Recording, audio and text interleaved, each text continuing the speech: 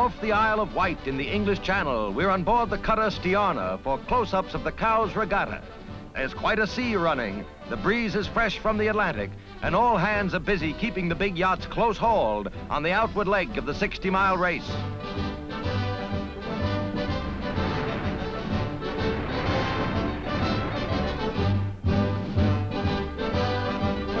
Cameraman takes his sea legs along for this trip in the channel and brings back pulse-tingling scenes of men who battle wind and water.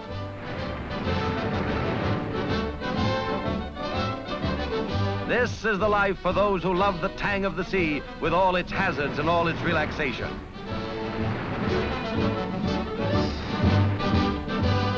Far removed from everyday strife, man pits himself against the elements.